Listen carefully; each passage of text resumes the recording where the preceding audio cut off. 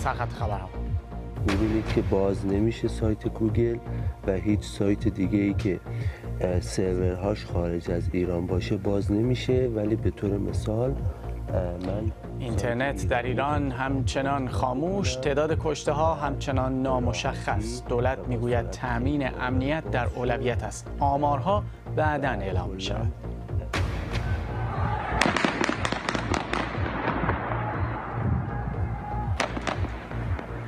قوه قضاییه می‌گوید کسانی که دست به خشونت بزنند مجازات می‌شوند. معترضان می‌گویند کوچکترین حقی برای ابراز اعتراض ندارند.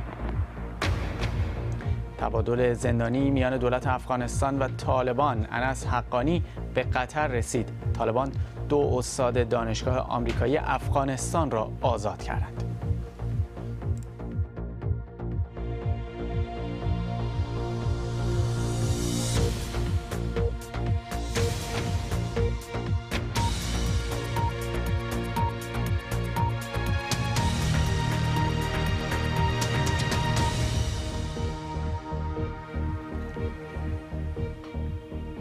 سلام و عصر خیر. همچنان با ما هستید با پوشش ویژه اعتراض ها در ایران پنج روز پس از شروع این اعتراض های سراسری که جهش ناگهانی بنزین آغازگر اون بود اینترنت همچنان قطعه. گزارش های غیر رسمی نشون میده که فضا در شهرهای بزرگ به شدت امنیتیه و در بسیاری از میدانها و خیابانهای اصلی شهرها نیروهای امنیتی حضور پررنگ دارند بنابر گزارش های غیر رسمی ده ها نفر در جریان اعتراض ها کشته شدند اما مقام ها آمار رسمی رو اعلام نمی کنند همین امروز هم علی ربی سخنگوی دولت گفت اعلام تعداد کشته ها به زمان احتیاج داره. در همین حال دولت ایران پرداخت مرحله اول یارانه ها بابت افزایش قیمت بنزین رو شروع کرده و به حساب حدود 20 میلیون نفر پول واریز کرده. در خارج از ایران واکنش ها به مرور بیشتر می شود از جمله آنتونیو گوترش دبیر کل سازمان ملل گفته که با نگرانی خبرهای ایران رو دنبال می‌کنه. گزارشی ببینیم از هادی نیلی نگاه کنید سنگر گرفته می‌خواد مردم رو بزنه.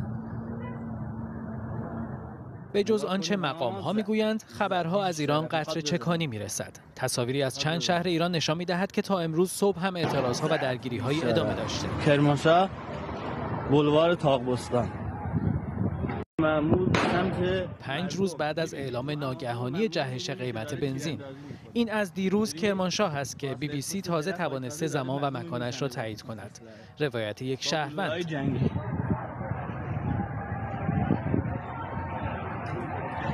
نگاه پشت درخت قشنگ داره مردم رو می‌زنه ماموره نگاه کنید اصلشه و این تصویری از شیراز. پلیسا قدیم شیراز گزارش های مختلفی درباره شمار کشته شدگان و زخمی ها در این اعتراض ها می رسد. دولت ایران می گوید اعلام تعداد معترضان کشته شده در شهرهای مختلف زمان می ناظران می‌گویند میزان ارتباط اینترنتی ایران با خارج کشور کمتر از 5 درصد است.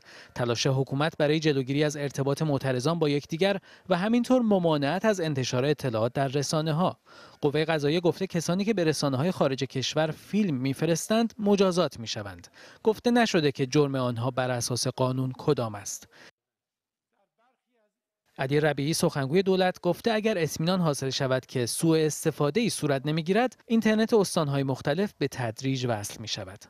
علاوه بر سازمان های حقوق بشری و حامی آزادی بیان، سازمان ملل متحد هم از مقام های ایران خواسته که اینترنت را دوباره وصل کنند و حق آزادی بیان معترضان را رعایت کنند. سخنگوی سازمان ملل می‌گوید آنتونیو گوترش دبیر کل سازمان ملل نگران برخورد نیروهای امنیتی و معترضان است و گفته به خاطر کشته شدن معترضان متاسف است.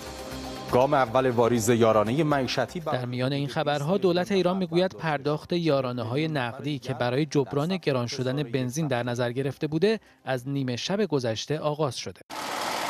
این یارانه های نقدی یا به قول دولت حمایت معیشتی قرار است به 60 میلیون نفر پرداخت شود. دیشب برای حدود 20 میلیون نفر واریز شده. فردا شب و شنبه شب هم قرار است به حساب بقیه پول بریزند. امروز صبح در جلسه هیئت دولت رئیس جمهوری ایران بار دیگر از تصمیم افزایش ناگهانی قیمت بنزین دفاع کرده و باز یادآوری کرده که آیت الله علی خامنه ای از قبل از آن اطلاع داشته. به رغم امضای رؤسای سه قوه پای طرح افزایش قیمت بنزین، صدای شهروندان از رسانه های رسمی هم با انتقاد از این طرح همراه است. بهتر نبود که مقداری قبلش در مورد این طرح و اینکه عاملی نشه برای تورم یه ذره فکر می‌شد پشتش فکری باشه برای مردم توضیح می‌دادن.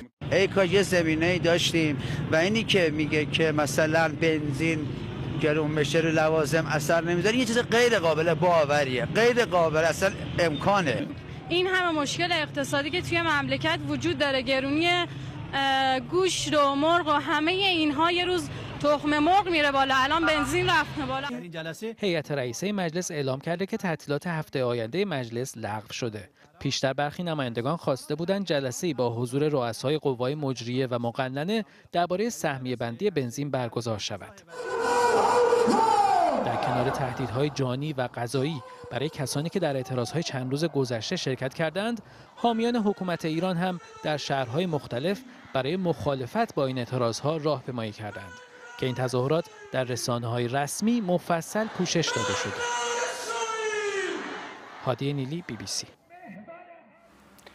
نگرانی ها در مورد نحوه برخورد نیروهای امنیتی در طول چند روز اعتراض ها در ایران امروز صدای سخنگوی دفتر حقوق بشر سازمان ملل در ژنو رو هم در آورد و او گفت دست کم خبرهایی که به آنها می‌رسه نشون میده که ده ها نفر در این اعتراض ها کشته شدند اما مقام های ایرانی کاملا در این مورد سکوت کردند. مدیار سمی نژاد به ما پیوسته دستیار تحقیق در عفو بین الملل ایشون در لندن هستند.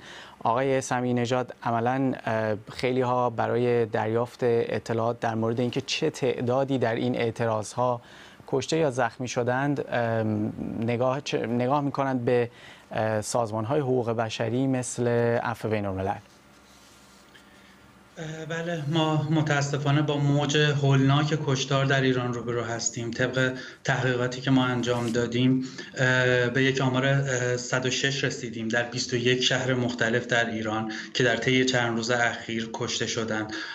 ما اینها رو راست آزمایی کردیم. ویدیوهایی که منتشر شده رو راستی آزمایی کردیم. با فعالان حقوق بشر و شاهدان صحبت کردیم و متوجه این شدیم که یک در واقع موج هولناک کشتار در ایران اتفاق افتاده.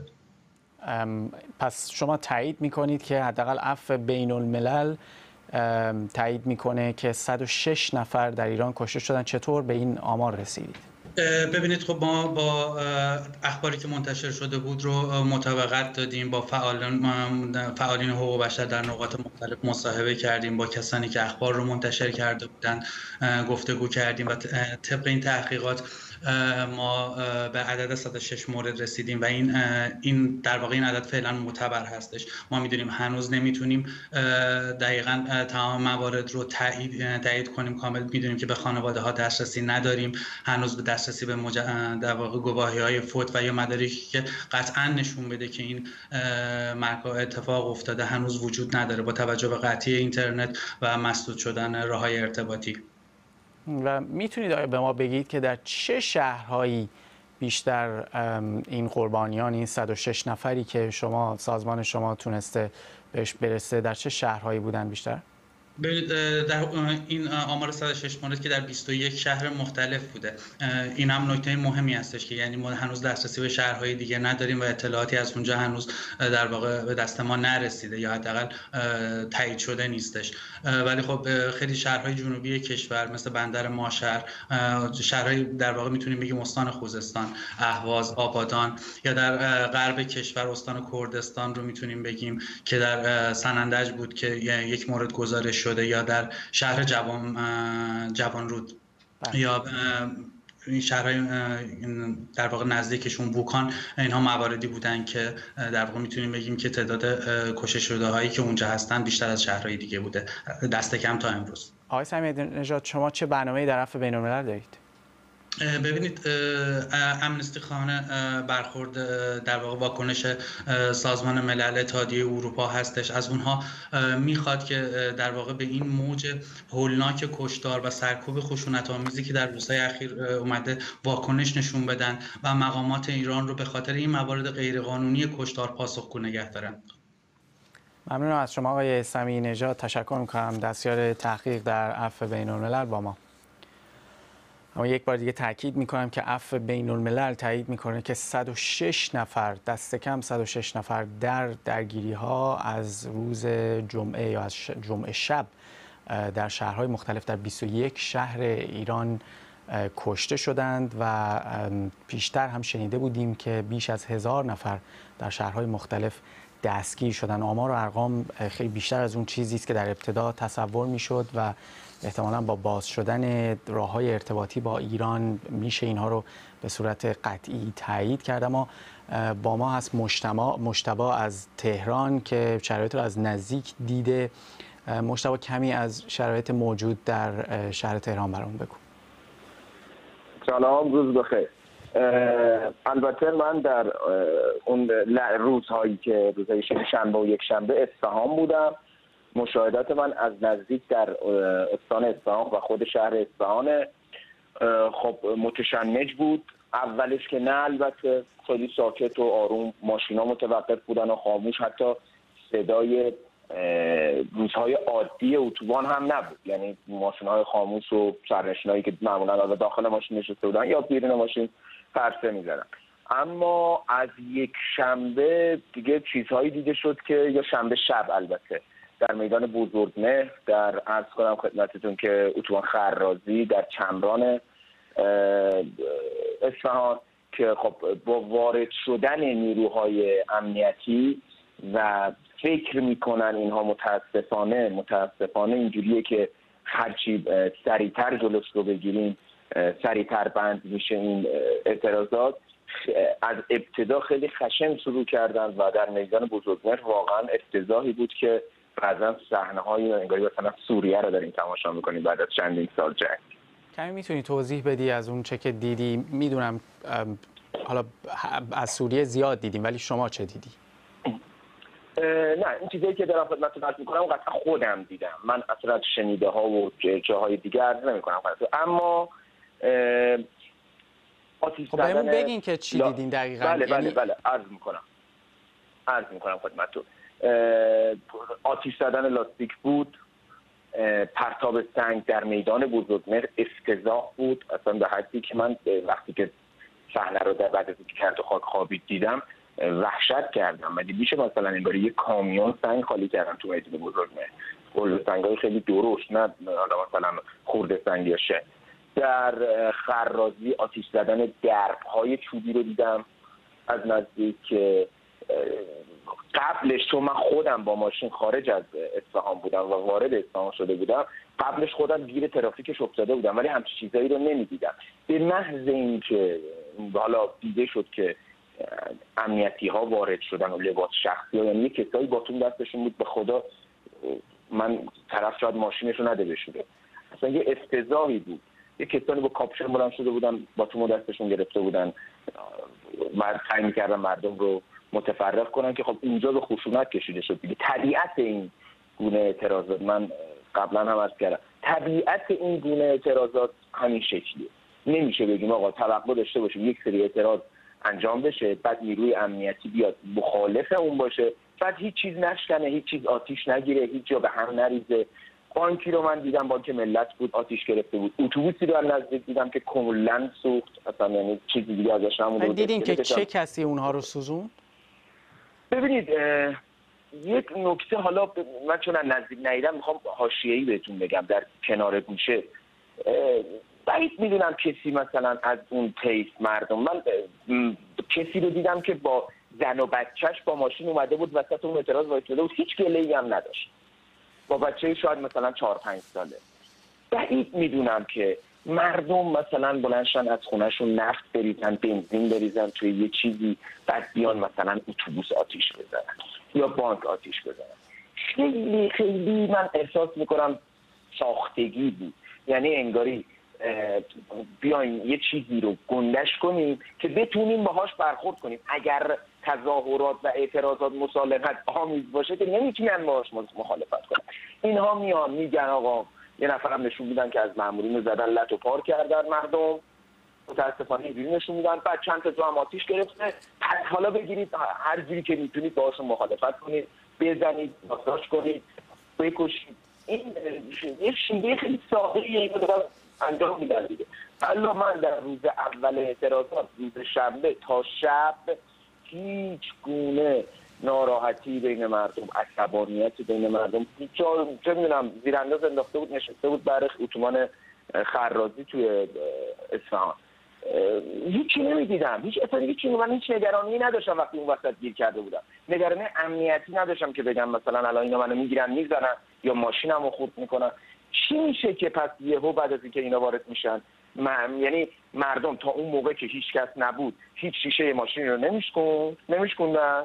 ولی به محض اینکه امنیتی یا وارد شدن حالا مردم دارن شیشه ماشین میشکنن شیشه ماشین خودشون شیشه ماشین هم دوستشون بغلیشون که یک ساعت دو ساعت پنج ساعت بغل همدیگه وایسادن خب حالا جلو اینا باید بشکنن یه مقدار در تایید در تایید صحبت های شما یادم میاد که در روز اول از اعتراض ها در اصفهان ویدئویی منتشر شد که چند نفری نشسته بودند وسط در واقع بزرگراه و داشتن قلیون میکشیدن یا انواع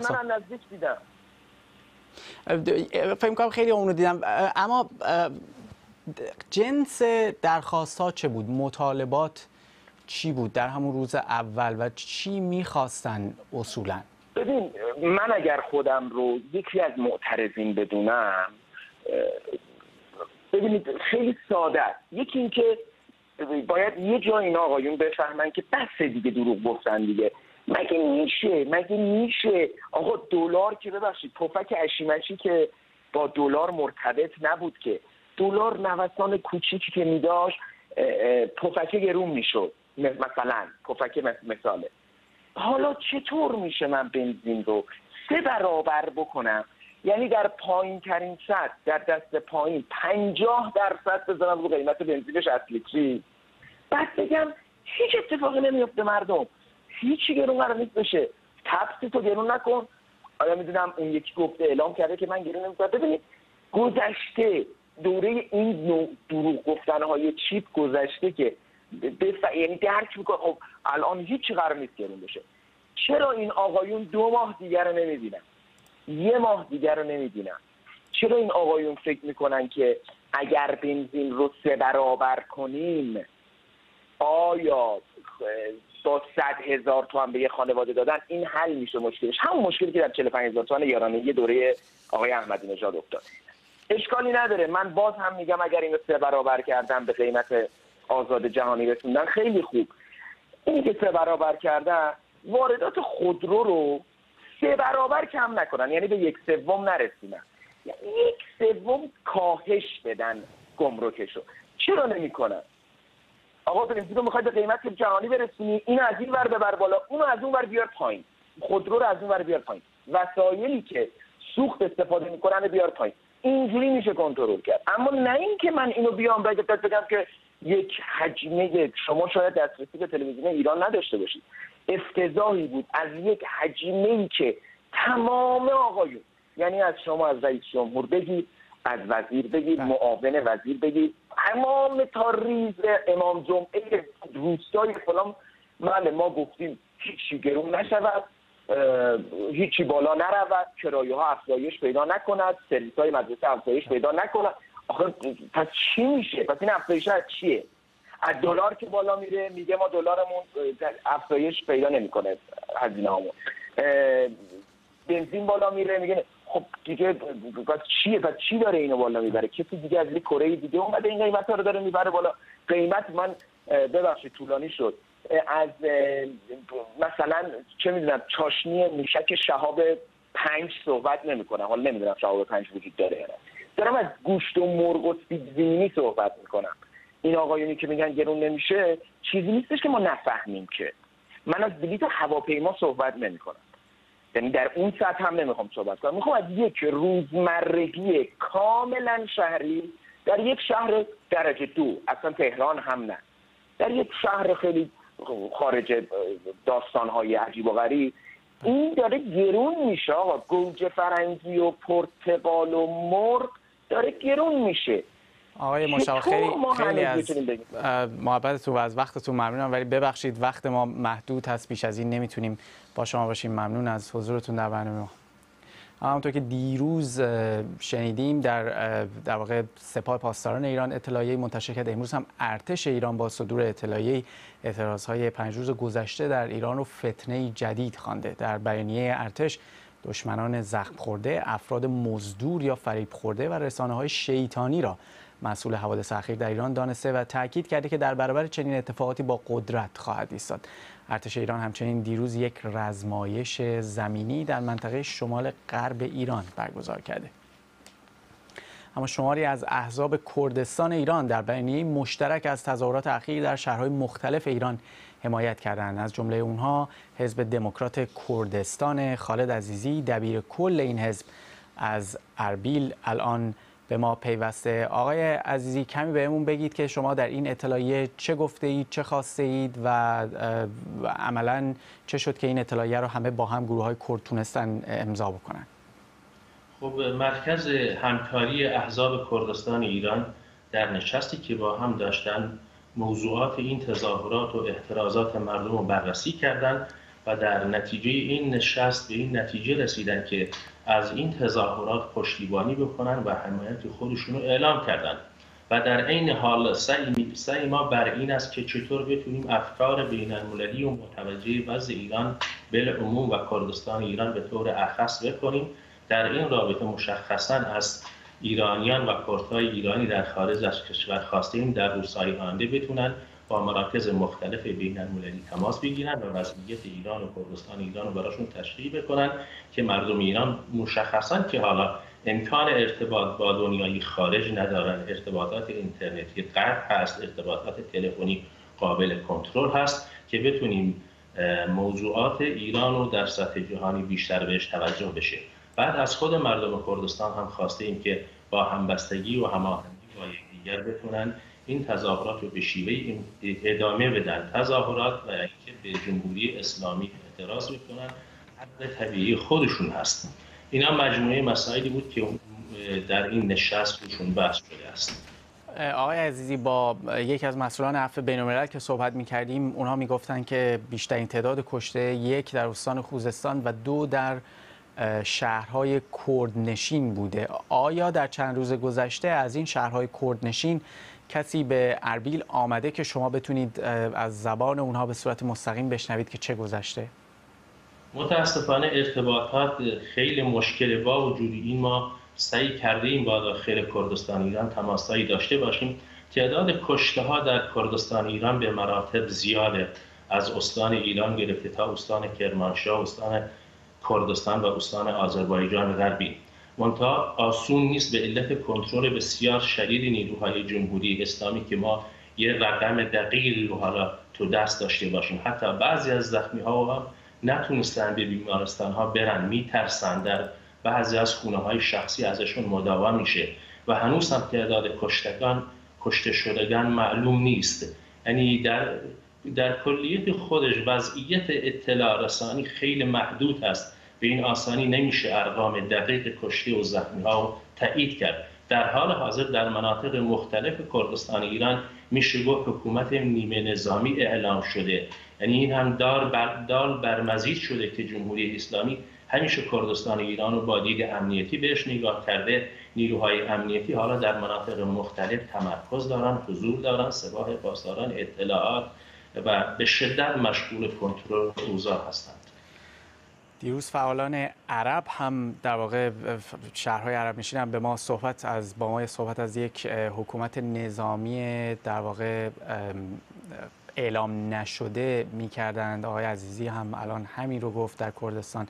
آقای عزیزی از شما ممنونم. خالد عزیزی در کل این حزب از اربیل اما اینجا در استودیو مریم زهدی با منه که خبرها رو در طول چند ساعت گذشته دنبال کرده. مریم آیا چیز جدیدی میشنویم در این چند ساعت؟ قبل از اینکه شروع بکنم اجازه بده مجید من دوباره یادآوری بکنم برای کسانی که ممکنه نشنیده باشن سازمان عفو بین الملل یک بیانیه صادر کرده و گفته حداقل 106 نفر در 21 شهر ایران در اعتراضات اخیر کشته شدند. و اما منابع رسمی و مقامات رسمی در ایران در حالی خبر از آرامش میدن و میگن همه چیز آرومه که بیشتر از 60 ساعت اینترنت ایران هنوز قطعه. برنامه های فرهنگی در اصفهان تبریز جاهای دیگه لغو شده. یک جشنواره تئاتر در تبریز بود که لغو شده. چهار تا مسابقه فوتبال دیدار هفته 11 لیگ برتر لغو شده با دستور شورای عالی امنیت ملی. و اینکه مثلا کیهان کلهر حتی من دیدم اعلام کرده بود که بلیت فروشیش رو متوقف کرده. با تمام این وضعیت ها و چیزهای شواهدی که می‌بینیم خبرگزاری رسمی از قول مقامات میگن آرامش حکم فرماست. این در حالیه که ما دیروز و پریروز صحبت از باز پس ندادن اجساد کشته شده ها به خانواده ها می کردیم من دیدم بعضی از روزنامه نگاران امروز در توییتر نوشته بودن که پیکر یکی از این جانباختگان در بهبهان تحویل داده شده به خانواده و به خاک سپرده شده. یک اینفوگرافی خبرگزاری مهر منتشر کرده بود از میزان خسارت هایی که این چند روز به اموال وارد شده. مورد اولش برای من جالب بود که که می‌خوام اون رو بگم. 900 میلیارد تومان فقط حاصل خسارت حاصل از تعطیلی فروش اینترنتی بوده که تازه به این مقدار باید اضافه کرد سه روز تعطیلی فروشگاه ها و بازار رو. از سوی دیگه یک سناتور جمهوری خواه آمریکایی به نام راجر ویکر توییت کرده که تهران باید بدونه که هیچ مقداری از سانسور و سرکوب عمق بیرحمی اونها رو پنهان نخواهد کرد. همچنان من در شبکه اجتماعی که نگاه می‌کنم آرام سکوت برقراره. ولی یه عده ادعا می‌کنن که روزنامه نگارها و خبرنگارها در تهران خیلی راحت تر از سایرین به اینترنت دسترسی دارن و بعضیا منتقدن که چرا ساکتن و هیچی نمیگن و کم صحبت می‌کنن. به غیر از همه اینا نکته پایانی که من با همکاران ترکیه ایمون صحبت می‌کردم. ازشون میپرسیدم که اونها یا خبر دارن که در ایران چی داره میگذره و آیا می‌دونن که اینترنت قطع شده و جزئیات چی می‌دونن؟ به من گفتن که از کلیات با خبر هستن می‌دونن که یه اتفاقاتی اونجا در جریان اعتراض هایی در جریانه ولی از جزئیات هیچی نمی‌دونن. اجازه بده من به این اضافه بکنم که دیروز یکی از مخاطبان ما می‌گفت در آنکارا تصمیم گرفته بودن جمع بشن جلوی سفارت ایران ولی بهشون هشدار داده شده که این کار رو نکنن و اگر جمع بشن اونجا و تجمعی برگزار بکنن باهاشون برخورد خیلی شدیدی خواهد شد و اونها این کارو نکردن اونجا. این در حالی که در سفارت خونه های شهرهای مختلف مثل تفلیس مثل آتن تجمعاتی مثل خود لندن تجمعاتی برگزار شده و الان در حال ترتیب دادن تجمعات دیگه هم هستن. باز دوباره نکته دیگه این که مشغول ترتیب دادن طوفان توییتری هم هستن هستن کاربران. با هشتگ های مختلف سعی می‌کنن تجمیع کنن که صداشون بیشتر به گوش جهانیان برسه. تلاش دیگه هم که من می‌بینم تو این روزهای اخیر یکی دو روز اخیر این هستش که سعی می‌کنن اطلاعاتشون رو و توییت هاشون رو به زبانهایی به غیر از زبان فارسی ترجمه بکنن تا کاربران غیر فارسی زبون هم اونها رو بخونن و به هم دیگه بگن. فکر می‌کنم بعدتر در مورد شبکه های اجتماعی هم می‌رسیم صحبت بکنیم. همونطور که تو گفتی هشتگ های مختلفی هم الان ترند شده در شبکه های اجتماعی. ممنونم ازت مریم. مریم زهدی همکارم جا اما ساعتی پیش یکی از دانشجویان دانشگاه تهران به بی بی سی فارسی از وجود جو امنیتی در این دانشگاه گفت. گفتنی است تصاویری که در این ویدیو می‌بینید از دیشب هست و صدای این دانشجو هم برای محفوظ ماندن هویتش تغییر داده شده. دانشگاه تهران امروز و دیروز تحت شدیدترین تدابیر امنیتی قرار داشته. حدود 200 تا نیروهای لباس شخصی و یگان ویژه جلوی در اصلی دانشگاه وایستادن و اون در رو مسدود کردن و دسترسی به دانشگاه فقط از درهای غربی و شرقش امکان پذیره. دیشب در دانشگاه رو روی دانشگاه بستن و من شنیدم از دوستانم که افرادی هم بعد از خروج از دانشگاه دستگیر شدن. افرادی که شناسایی شده بودن در زمان که داخل دانشگاه بودن و وقتی بیرون دانشگاه بودن توسط نیروهای امنیتی دستگیر شدن. اینجا جو بسیار امنیتیه و ما میترسیم. صدای یکی از مخاطبان ما بود یک دانشجو از دانشگاه تهران.